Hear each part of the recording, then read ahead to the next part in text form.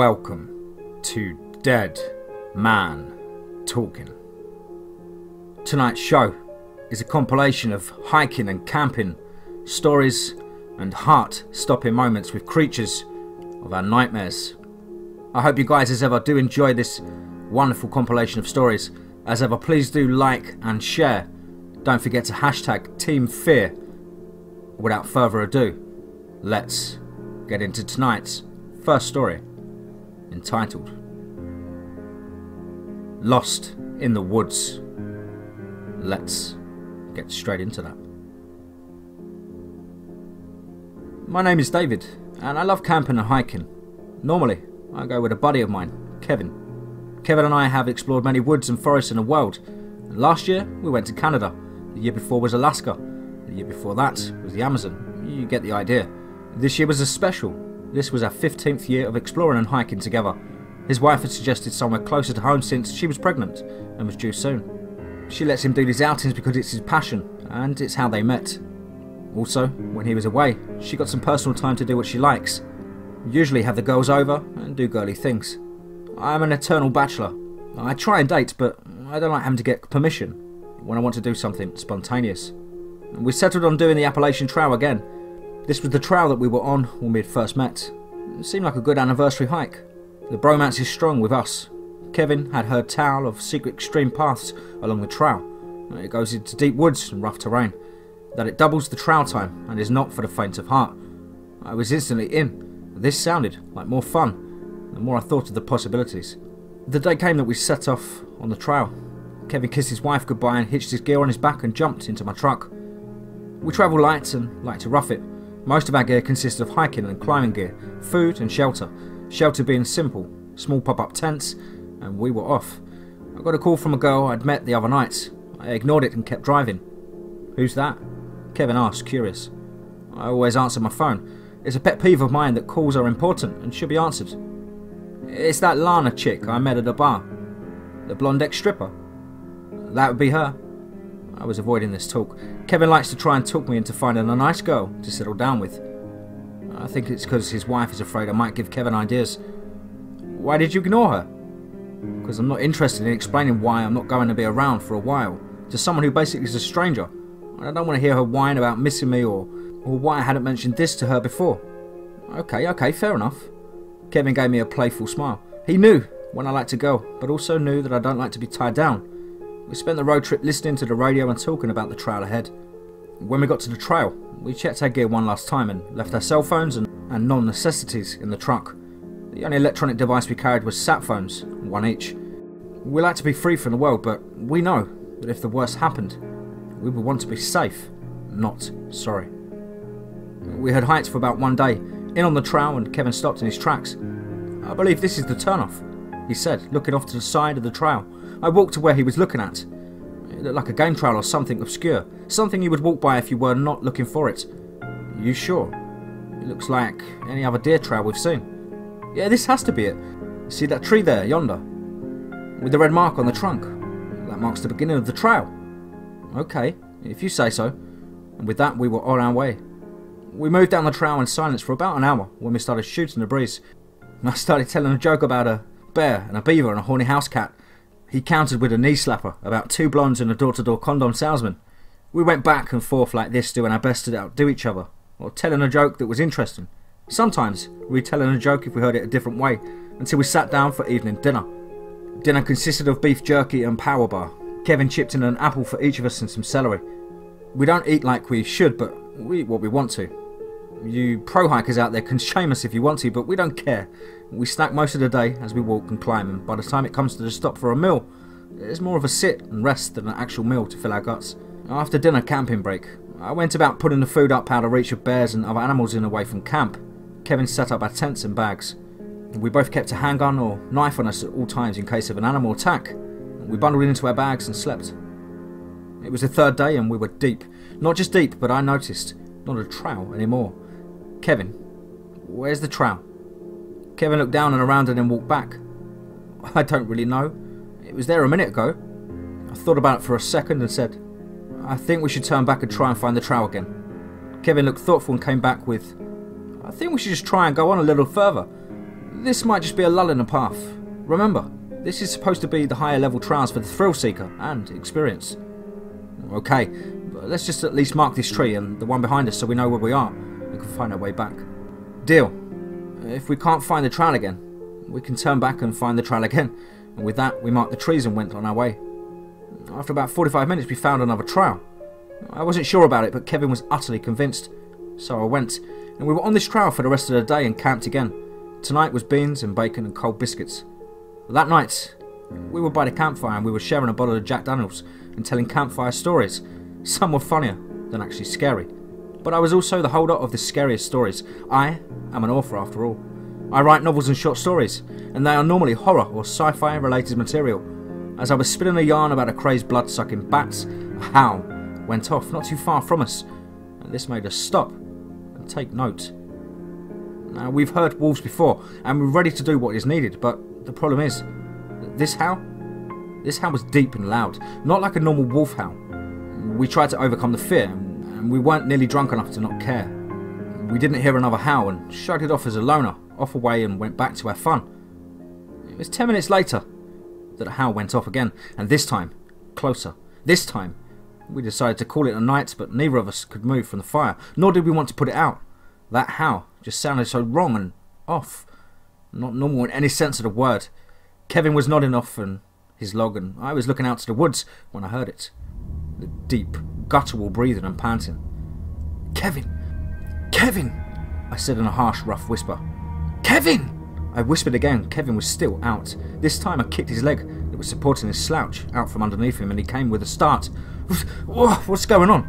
He said, still mostly asleep. Kevin, something is here, and it's giving me the creeps. At this point, Kevin seemed to notice the sound as well. Where's your gun? I looked down at the pack beside me and grabbed the small caliber gun. I'm not interested in killing, just scaring animals away. Normally, a gunshot will send most animals running, and Kevin grabbed his from his belt holster. No sooner did it leave the lever than a large wolf looking thing crept from the dark. It was on all fours, but it was not right. It looked like it was standing up on hind legs, but its front claws were on the ground, supporting its forward leaning body. The neck was longer than the man's, and its ears were to the side of the head instead of on top, like, like a normal wolf. Its tail was stiff and straight, and not very long. Its eyes were orange and too far apart. Its teeth awkward, misplaced, like they had been stretched out of place and then reset. The hind legs were wolfish, but they were too thick, uh, not natural. Its front claws were like human hands, but elongated and narrow. The nails were bloody and inflamed. The thing looked in pain and pitiful, except the except the eyes. The eyes were of hate and hunger. It moved sure-footed, like it always moved like this, like nothing was out of the ordinary. My mind could only name one or two things this could be. It was either a werewolf or it was a dogman. And the difference is simple, but the lore is all that there is so they may be the same. It moved into the camp and drawled as it went. It settled its eyes on Kevin. Kevin settled his sights on the werewolf. Then many things happened at once. Kevin pulled the hammer back on his thumb. The werewolf lunged at Kevin. I stood in shock, and then it came out of the woods and slammed into the werewolf. Now I know what you are thinking. What came out of the woods? What just happened? This thing that came out of the woods stood at least eight feet tall. It must have weighed at least 700 pounds. It was broad and thick. I mean, muscles on top of muscles. Its arms were as thick as tree trunks and its legs were no different, except maybe a little bit shorter. All but its chest, face, and palms of its hands and feet were covered in thick dark brown hair or fur. And its head, oh, its head was gorilla like, but also resembled a human head. Its nose was flat and its ears were big and set away from the head. Much like that boy on the cover of Mad magazine, his teeth were bared and, and the canines were long and sharp. It smelled of rotting vegetation. He didn't seem to care too much about us, but seemed to focus on the werewolf. Kevin's gun just hung like his arm to the side. His shock was only matched by mine. Two, two monstrous myths were right here in front of us, and they were not happy to see each other. The werewolf was stunned but quickly regrouped and readied himself for the attack. By the way, I won't go into detail on how I knew they were both males, but let's just say it was obvious for the obvious reasons. The big ape man, or Bigfoot, was just reaching over to pull up a small but sturdy sapling and broke it off at the small end so that he could hold it as a club. The wolf lunged and caught the ape on the shoulder. The ape was knocked back a few feet. The wolf was not small, but was outsized nonetheless. The ape grabbed the wolf by the throat and attempted to squeeze, and the wolf let up and was flung at a tree. The wolf landed on his feet and sprang off the tree back at the ape. The ape seemed ready for this and thrust the club at the wolf, catching it in the gut, and it fell to the ground and vomited what looked like blood and animal parts on the ground. It gathered its senses and made a low lunge at the now approaching ape man. He caught him at the ankle, and this brought the big ape down to the ground. As the two beasts battled, I saw, on the other side of them, a thing watching from the tree. It was like an emaciated human with long hands and long feet. It had pointed ears and blood red eyes. Its mouth was red in the firelight. It had no hair. And long claw-like nails. Its skin was loose on its body and was white as white can be. Its gaze... Its gaze was constantly flicking between us and the two brawlers. Finally, Kevin grabbed me and I grabbed their packs and we made for the woods, hearing the two still fighting it out behind us. We had been completely forgotten. But as the sound of battle died down behind us, a new sound stayed persistent. It was slight, but gaining on us. The rake was in pursuit and was screeching and chattering when it spurred us on faster. It chased us for 20 minutes, when out of nowhere, we heard something hit it, and it hit the ground. The next sound was flesh being ripped from bone. I glanced back, expecting to see the wolf or the ape, but what I saw was neither. It was long and skeletal, with what looked like rags or leather strips hanging from its shoulders like an imitation of clothes, but a poor imitation at that. The head was the only thing I could really make out in the dark.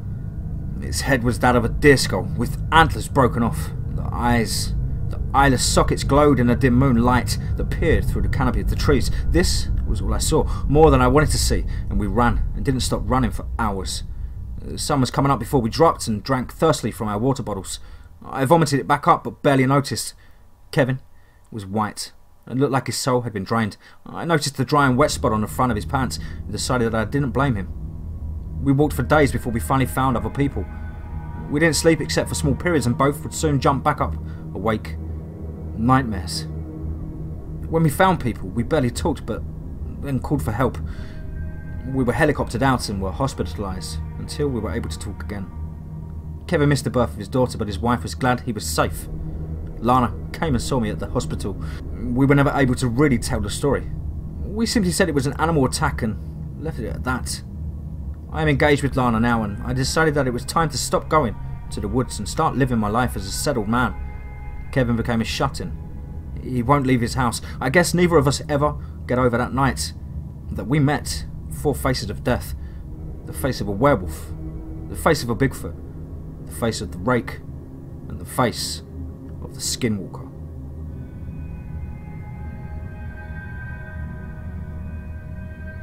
The Black Dog. Let's get straight into that. It is said the Black Dog is a portent of death. Between the drifting figures, the shadows, the alley phantoms between the barrels and ghosts drifted, not quite there and not quite gone. The dim lanterns are lit above me, dying fireflies in a storm of dust. The air takes on a hazy grey, almost as if looking through an old-time movie filter.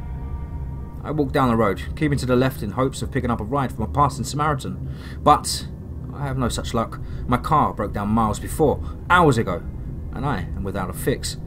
Nothing left to do but walk through a lonely Essex night. A car. Perhaps this one will stop, I think, as I wave him down. I look to see if it's a man or woman. The details are fuzzy though. A haze of grey shrouds his face with careful focus. I see through the mist.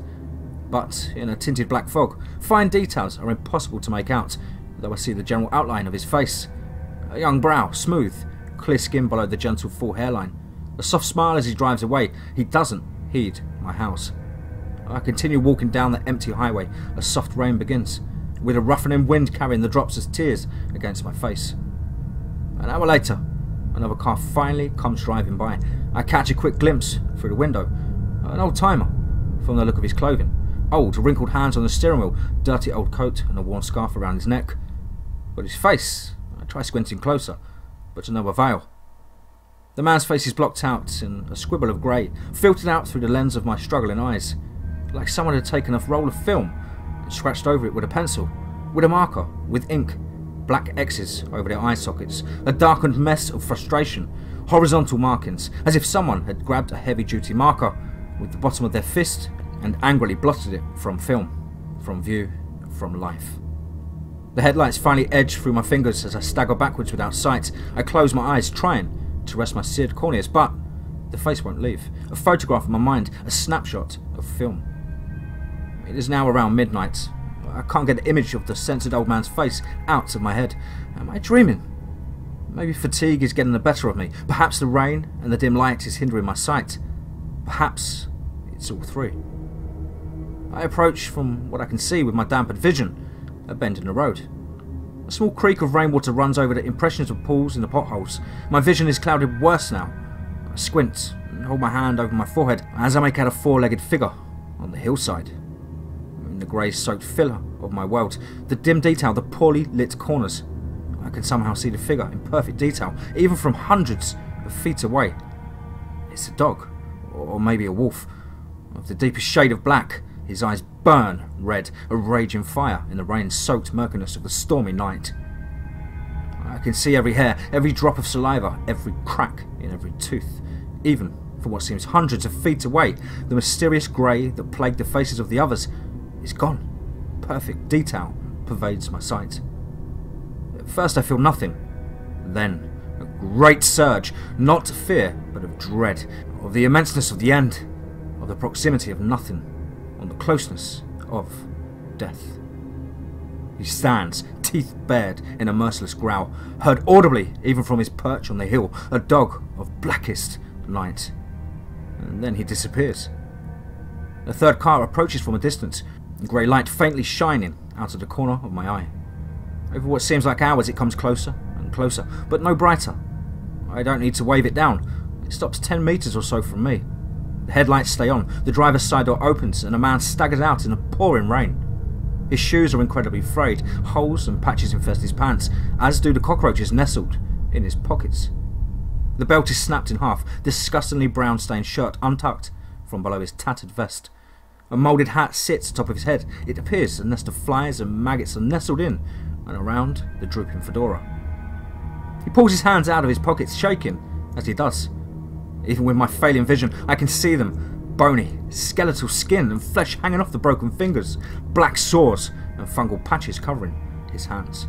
Shoulder length, death white hair resting uneasy on his shoulders, whipping in the wind. He pulls a cane out of the car. I can barely see the carved handle as he grips it weakly in his necrotic hands. The handle. Shape. It was the shape of a dog. I stare at his hat again, and then dare to look at his face. My vision immediately leaves me. All I hear is the click, clack, click, clack of his cane as he staggers towards me. Fairly certain I kinda met a shapeshifter. Let's get straight into that. I'm open to a lot of things and was not at all sceptical when my friend mentioned that she had seen a shapeshifter on the local reservation she lives near. She delivers newspapers and I helped her out for a month after she had some surgery done. We would talk about folklore and the customs and traditions because I've always been interested in that sort of thing, but never knew much about this particular tribe due to a lot of different things. She would tell me about seeing this big black dog on occasion, and when she would blink or look away and then look back, it'd be a woman. Always the same woman, just different ages. If it was anyone else telling me this, I would have thought trick of the light or being tired, etc. But from her, I believed it. One night, when I was with her, we pulled up to a man and a woman.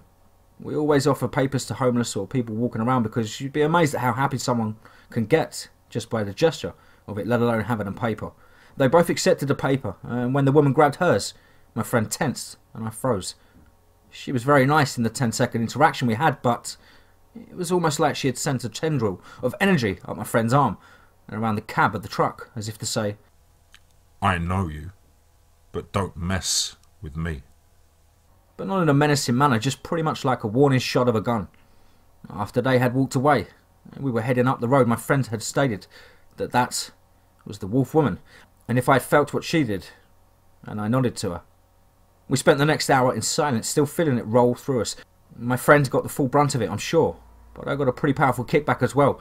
It was like a light of electricity, arcing and dancing from nerve to nerve, creating goosebumps and shivers on occasion. It wasn't overall a bad experience at all, rather the opposite. Just not really something you'd expect to happen as casual as it did. I really miss going on that route, always something interesting, but that was the first time in a long time that I was reminded of the universe being bigger than what we see.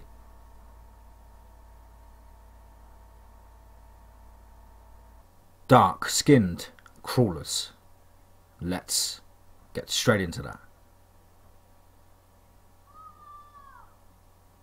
In the year 216 in November, me and three friends were hanging late at night at a local park in Texas. We were sitting in a roofed area, all facing away from an open field and a small river. It was a full moon with no clouds, so visibility was low, but at a point you could see a couple of yards in front of you. Well, we were sitting there staring at the road for a couple of minutes, talking about school and the weekend. My friend Joe stood up and turned around to face us, but then stops. He became pale and tells us to turn around. At that moment, we all turn and see a black four-legged creature, humongous in size, crawling low on the ground towards us and stops as soon as we see him. The scary thing about this creature was it looked to be human, but its legs were like arms with elbows crawling towards us with its belly almost to the ground. We couldn't see facial or great detail of it, but it was the length, if stood up, of five foot six, and its feet looked like hands with fingers. At that moment, we stand up, and it bolts extremely fast to the brush, we follow towards it and try to shake it out, but instead it runs off deeper. We go back stunned at what we'd seen and talk about what it could have been. None of us could guess. If anyone could explain or have similar experiences, please let us know.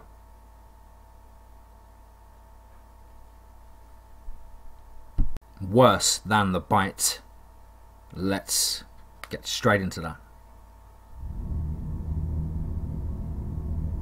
I looked at the frayed end of my puppy's leash and sighed. The leash had been thrown in with a kennel I bought when I bought Picard, my Pomeranian.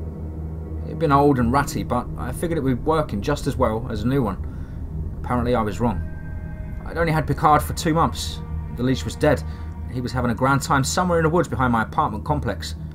He was a good puppy, but also a hyperactive one, and I was worried he would never wear himself out and get lost. So, I pushed through the undergrowth in the direction that he had scampered off. Picard! I called out. Come on, boy! It's going to be night time. You need to come and get dinner. It had been half an hour, and I was starting to get a little bit worried, a little bit upset. I didn't know what I would do when I found the little guy, but at this point, I was just hoping I'd find him at all. The sun hadn't completely set, but it would in less than an hour. And after I found Picard, I would have to find my way back out of the woods. From the road or the apartment, the massive trees looked quaint and contained, but from inside of it, the forest seemed huge and imposing. Some of the trees had long scratches on them, usually a few feet above my head or places a little lower, where the bark had been torn off in ragged strips. All of the branches up to about eight feet high had been broken off and piled around the bases of the trees, and I wondered who had done it and why. It must have taken days of effort for some landscaper to accomplish, and for what purpose? As far as I knew, no one came out here, not even the kids who lived in the apartments. Come to think of it, I hadn't seen any of the animals in the woods since I moved in. I'd never noticed it, but but now that the thoughts had entered my head, it was unsettling. Even in a forest that was too small for deer, shouldn't there be squirrels or possums or something? I took another look at some of the scratches high on the trees. What were they? Most of them were groups of two parallel lines, gouged deep into the living wood of the trees. Bears had more than two claws. I knew that. Was it something done by whomever had broken off the low branches. I reached up to touch an overhanging branch. It was just out of reach. I was a tall guy, six feet even. Most people wouldn't be able to reach the branches. Maybe the manager of the apartments didn't want people climbing the trees. Picard! Here, puppy! Let's go get a treat! I didn't want to be here anymore. I wanted to take my dog and go home. The sun was getting very low in the sky, and I absolutely did not want to be in these woods after dark. There couldn't be anything to worry about. Nothing scarier than skunks lived in my state. But at this point, I no longer cared. This place was wrong somehow, and even the squirrels knew it. Picard! Come! I heard dead leaves rustle behind me. I turned to look. Picard? Good dog? It wasn't Picard. The thing I saw was tall, eight feet at least. The branches overhead brushed its wolf-like ears. It was covered in thick fur, grey and mossy green and it stood on two feet like a person. For a brief instant, I thought it must have been Bigfoot, But then I looked at its face, into its eyes, its four eyes. They were small and crimson, arranged in a band across its face where a human's nose would be. Its wide, frog like mouth split, and its entire head seemed to gape open to reveal hundreds, thousands of teeth like knitting needles, as thick tongues like twisted handkerchiefs thrust out and licked slowly across the lips. It took a horrible, shuddering step towards me, and I took two back. It blinked, each eye from left to right taking a turn in sequence. Then raised its long, long arms towards me. I felt my back hit against the tree and thought maybe I could climb up, wait for this thing to leave, for someone else to come, even though I knew no one would. But there were no branches in reach, and I suddenly realised why. I shouted at the thing to stop, but it ignored me. It took another step towards me, and then a third, its paw outstretched with two thick, curved claws extended. I closed my eyes. There was nothing I could do. Then I heard a low whine and a bark. Picard! Great. Not only was this thing going to eat me, but my little dog too. I opened my eyes and started to shout at Picard to run, but the thing was standing there covering its ears. Picard barked again, and the creature howled in what seemed like pain. Picard began barking incessantly, frantically, and the horror fled, running deeper into this terrible woods. Picard trotted over to me, his tail wagging, the other end of the leash still clipped to his collar. What a good boy, Picard! What a good boy! I hugged him close. We were both shaken as I tied the two ends of the leash together, and we ran home in the dark.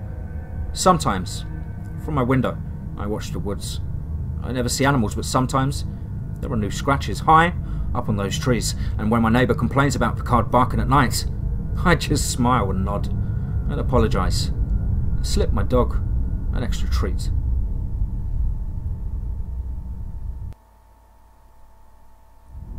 Wow. Hope you guys enjoyed that uh, compilation of short stories there. Uh, big shout out to the first story author, Rix Ryu 3. Um, has featured many stories, sent them over to myself, um, and give me the first sort of looks at those before he puts them to Reddit. Really do appreciate that, and uh, thank you ever so much. Do look forward to what else you produce. As ever, guys, please do let us know down below in the comments what you thought. Please do like and share. And don't forget to hashtag Team Fear. If you haven't subscribed to DMT, please do smash that subscribe button and throat punch the notification bell so you can keep up to date with all DMT content.